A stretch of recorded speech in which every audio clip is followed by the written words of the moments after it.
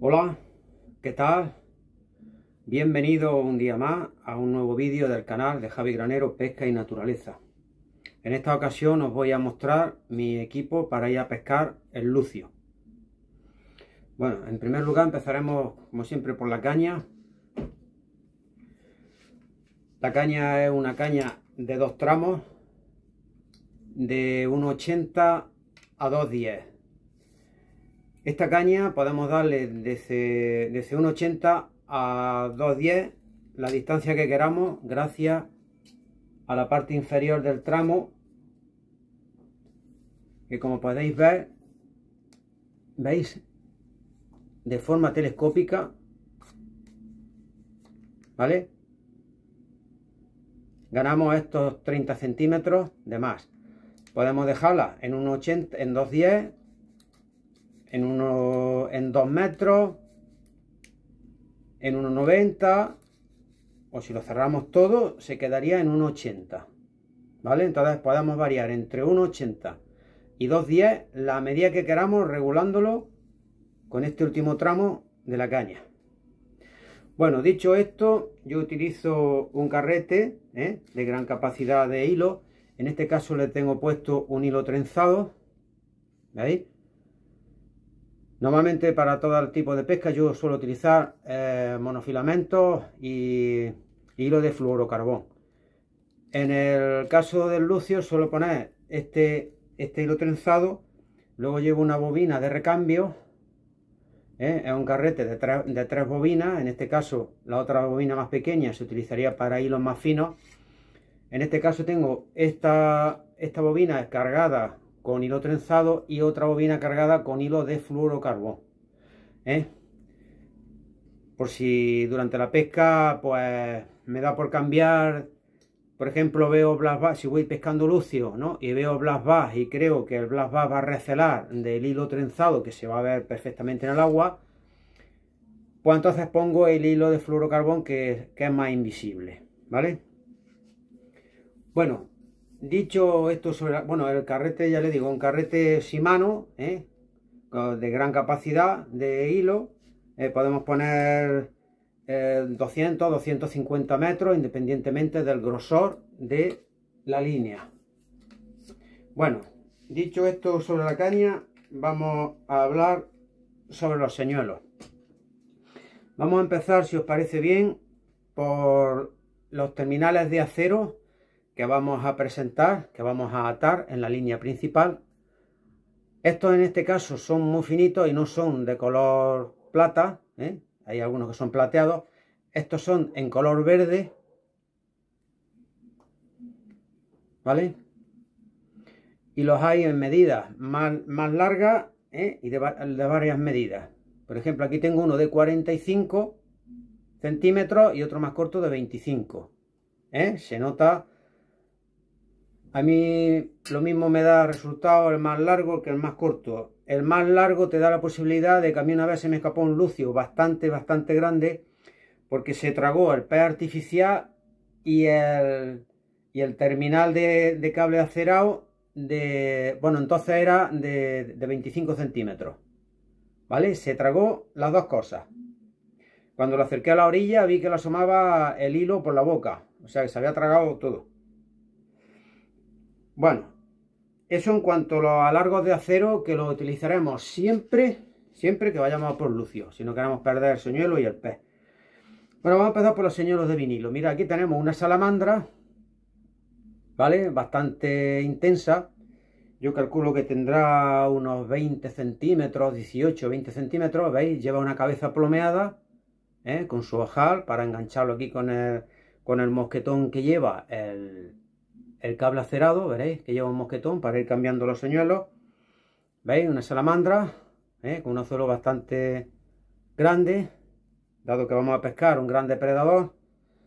Luego tenemos lo que son los piquis, ¿eh? tenemos este piqui, ¿vale? De color verde, ¿eh? con, con la panza en naranja, lleva así como purpurina.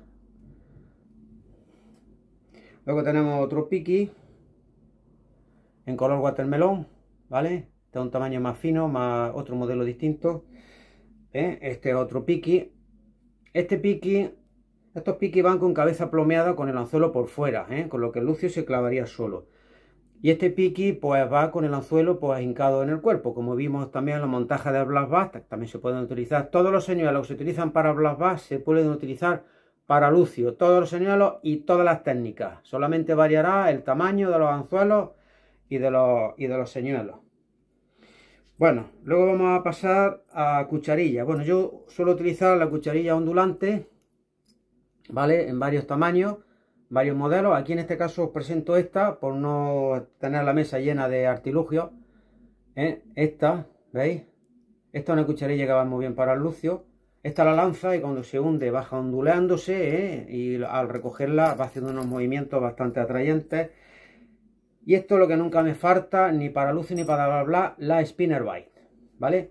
Esta spinner bite, pues es de de 25 gramos, de 25 o 30 gramos, ¿eh? es muchísimo más pesada y muchísimo, un poquito más mayor que la que se utiliza para Blast Blast, que suele ser de 14, 16 gramos, 12 gramos. Estas son bastante más pesadas. ¿eh? La Spinner Bike que funciona siempre bien. Y también de cucharilla tenemos el típico pez de cucharilla de toda la vida del señor, como se suele decir. ¿eh? Esto funcionará siempre. Siempre Siempre por los siglos de los siglos. ¿Vale? Bueno, y ahora tenemos también que podemos utilizar para pescar lucio. Bueno, podemos utilizar paseantes, ¿eh? lo mismo que el Blas En modelos iguales, porque para bla bla se utilizan paseantes bastante grandes. Podemos utilizar el mismo paseante para bla que para lucio. Señuelos de hélices, ¿eh? como este en este caso, en el color Fire Tiger ¿vale? Con sus dos hélices, una adelante y otra en la parte trasera, ¿vale? Señuelo de hélice. Y ahora vamos a pasar a ver los Herbite. Tenemos aquí un Herbite de la marca Rapala de 18 centímetros. Esto es un Magnum, modelo Magnum de Rapala en color plata y negro, ¿vale?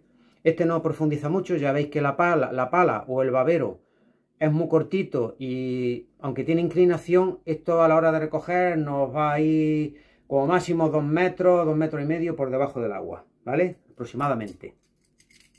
Aquí tenemos otro Herbite, en este caso también de la marca Rapala. Este es articulado, ¿veis? En dos trozos.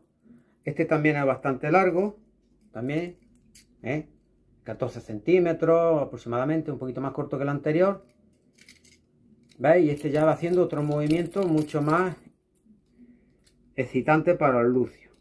Este también, mirad, este está articulado en cuatro, trozos, en cuatro trozos, ¿veis? En la cabeza, en medio del cuerpo y en la cola. Fijaros qué movimiento tendría dentro del agua. La pala, fijaros qué inclinada está, este pez no iría medio metro, máximo metro por debajo de la superficie. ¿Vale?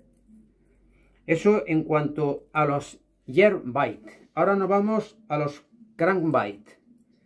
Los Crankbite veréis que a diferencia de los Yerbite, pues son con un cuerpo mucho más abombado, son mucho más gruesos, tienen un diseño distinto. Este Crankbite, vemos que tenemos una pala bastante, bastante amplia, ¿no? bastante ancha y bastante larga, con lo que este pez nos puede coger una profundidad muy bien, muy bien, de 5 metros, 5 metros y medio, ¿eh? a, su, momento de recogida. ¿eh? Cuando empezamos a recoger va profundizando y ya cuando se queda en su profundidad de 5 metros o 5 metros y medio, pues ya a, esa profundidad es cuando trabaja y cuando navega. ¿no? Tenemos este, por ejemplo, este que tenemos que ya está también articulado, que tiene la cabeza articulada, ¿veis? Este profundizaría también, pero no tanto como este otro. ¿Veis? Las palas cambian ¿eh? La pala de este de aquí es más pequeñita, es mucho menos ancha. Este bajaría a 3 metros, 3 metros y medio. ¿Eh? Distintas aguas para ir localizando los peces. Y ya este cranbait, pues veis, ya se nos quedaría bastante más arriba. ¿Veis? Tiene una pala pequeñita, anchita, pero eh, no, nos, no, nos, alcanzaría más de 2 metros, 2 metros y medio de profundidad. ¿Veis? Color Fire Tiger también. Estos colores funcionan muy bien. Para el lucio, color verde, siempre.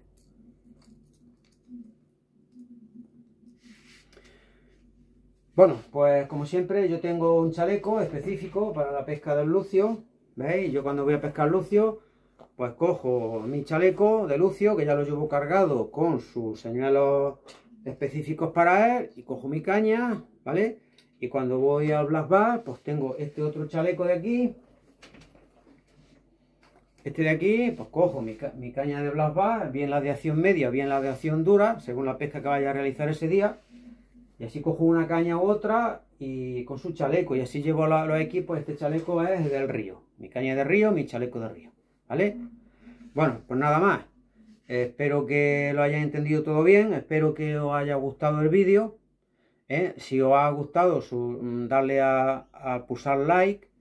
Eh, suscribiros al canal si no lo habéis hecho ya. Compartir el vídeo con otras personas que creáis que puedan estar interesadas en, este, en estas técnicas y en estos señuelos en esta clase de vídeos y darle a la campanita para que os avise de cada vez que se suba un vídeo al canal. Pues muchísimas gracias por estar ahí como siempre y hasta el próximo vídeo.